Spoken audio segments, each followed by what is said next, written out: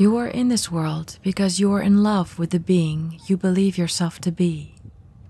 You may say that is not true, but I say it is impossible for thought greater than itself to know. Do not believe anyone who claims to know. Do not believe anyone who claims to love someone else more than they do themselves, for they do not. It is impossible for thought to be greater than the image it believes itself to be. Yes, you want companionship, security, and health, for these are all part of the image you fell in love with and entered. From Neville Goddard's 1968 lecture, A Prophecy. Neville's trying to tell you that the reason you are and in the dream of life is because you loved yourself so much and wanted to express yourself. That's why you dreamed this dream of life.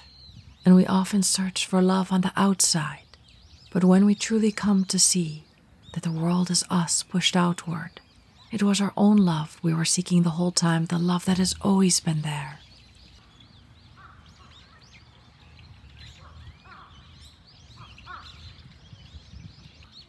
You are now alive because you, a living being, have given the image called by your earthly name life, and you will transform it into a life giving spirit because that is what you really are.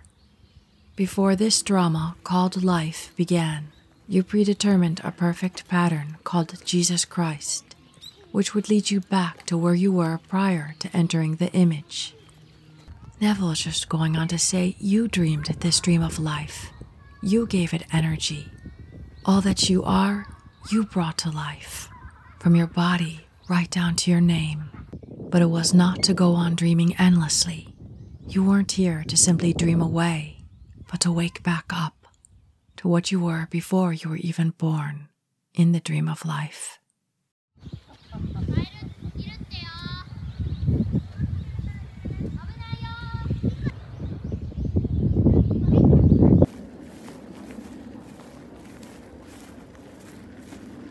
Oh my god, it's Fuji. Fuji's peeping. Peeping Fuji. Fuji's peeping through the sakura. Use the same technique God used to become you, as one whose name forever is I am. God fell in love with you, his image, and entered it. Now, knowing you are, you say I am. So God is occupying his image and now answers to the name you were given at birth. Just as God fell asleep and dreamed the dream of life, Neville's saying you can do the same. Imagine something and fall in love with it. Enter the vision. Become it. To the point you forget you are dreaming. You are it.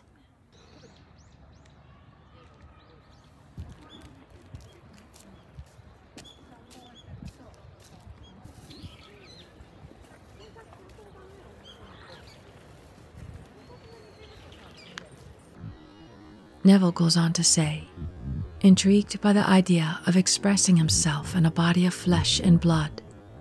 God entered this body by dreaming he is Neville. God laid himself down within me to sleep, and as he slept, he dreamed he was I. For 1,959 years later, when God awoke, I knew not that I had slept. And upon reflection, it was as though it had not been. For when God achieved his objective, which was to awake, and was conscious of the fact that he had the one he loved, all time vanished. So God dreamed he was Neville, and then in the dream, Neville woke as God. So God had fallen asleep, completely forgetting, and dreamed the dream of life, and that he was Neville. But then Neville awoke in the dream of life, woke as God. And that was the whole point of it all to completely forget, to completely enjoy. But it was always planned to awake again. But it was all done in the name of love, to enjoy. And all moves beyond time. Just like night dreams, what is time but an illusion? When you go to bed at night and you have a dream, it can transcend time. Everything can happen so fast, or it can feel like years and years have passed. And yet, when you awake, you've only slept six to eight hours. So, what is this figure that Neville talks about that it took so many years to awake. It is just symbolic for what degree God is lost in his dream.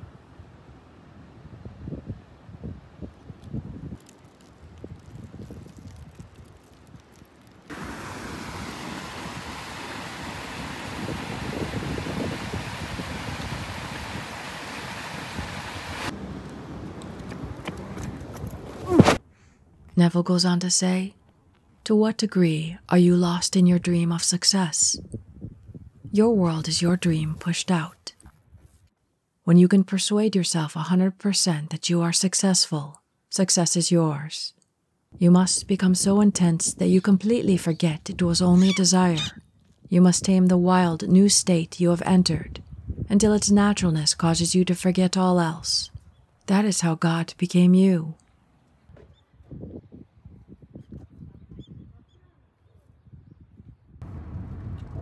What complicates it for most of us, why we don't always see the results we want, because we don't see the world as ourself pushed out.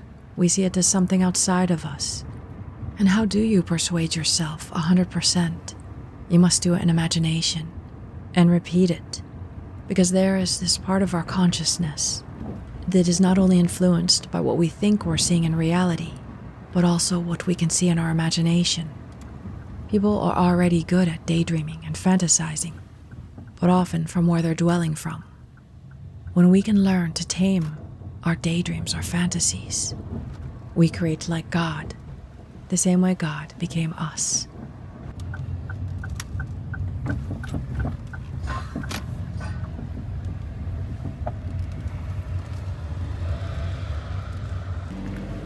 We stopped at the 7 Eleven for some fruit tea. Ooh, oh, you got ice cream. What kind of drink is yours? Whatever that is. It's a Japanese ice cream, Mark.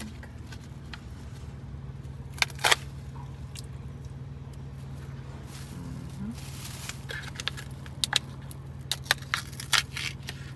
Come on, stripper, before the light turns green. I mean blue. You say it's blue. Now, is that blue or green? Japan says blue. Bluest green. No, the greenest blue. I'll hold that for you. Want me to hold that while you're driving? How is it? I got your lips. Oh, well. Oh, eh, Eri-chan sambo. Mm, it's like America. And why do we have to tame it? Because most people, without any mystical training, they react to different things, they fall into different daydreams, have different fantasies, either about things they don't really want, but they're used to, they're expecting. Or if it is a fantasy of something they want, it gets overcrowded by doubts and fears the rest of the day. So that is why Neville is telling you to tame this wild new state, so that you can intentionally daydream and fantasize, and fall so deep into it like when you naturally daydream or fantasize during the day, that it's as real as the world as you call reality. Is this a cute bathroom rug or what? In closing, Neville says The same technique God used to make you real can be used to bring your desire into being. Blake said, If the spectator could only enter into the image in his imagination, approaching it on the fiery chariot of contemplative thought, if he could only make a friend and a companion of one of these images, he would rise from the grave and meet his Lord in the air, and then he would be happy. Neville is saying, too much we talk of our wishes, but we haven't learned to really think from the wish. When you do, you become a friend, a companion to those visions. And this is the way to wake from the dead, to rise as the creator, the creator of all. And this is where your happiness will come, because everything can be fulfilled in imagination when you live by it. Now, let us go into the silence.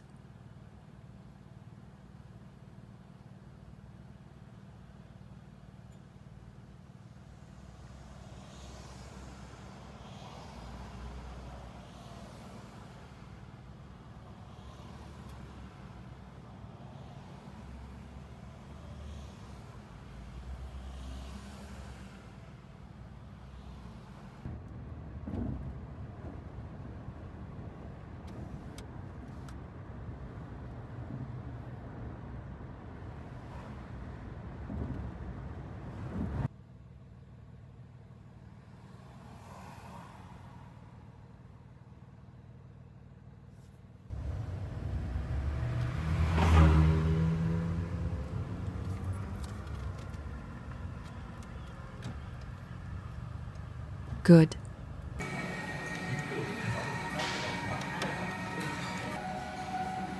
Someone told me to order Wagyu. Oh, yeah. It is really good. This is Wagyu, black Wagyu. -hmm. Oishi. Yeah. Oishi.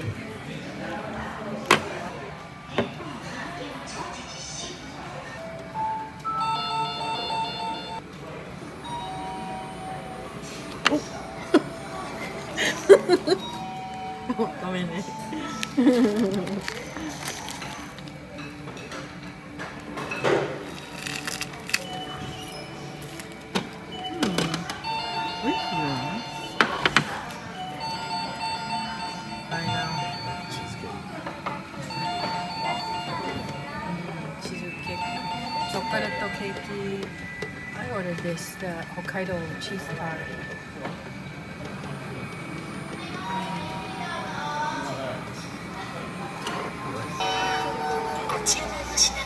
まもなく到着します。That be。うん。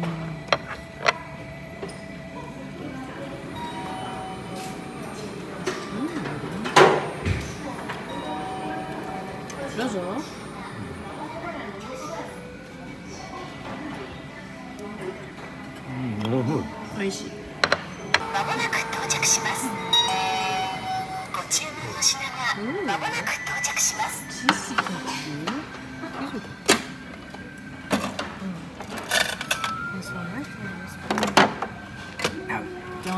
Don't put that on my finger.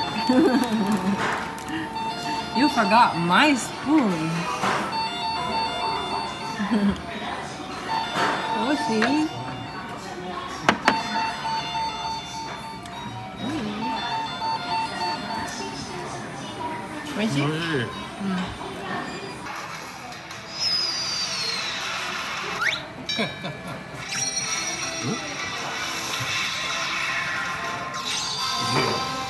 You won. I won.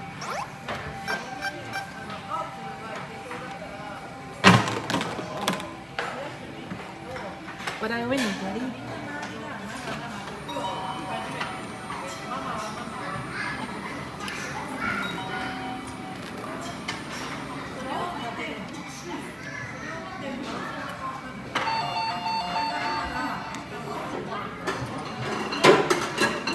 Know how to open it. Give me.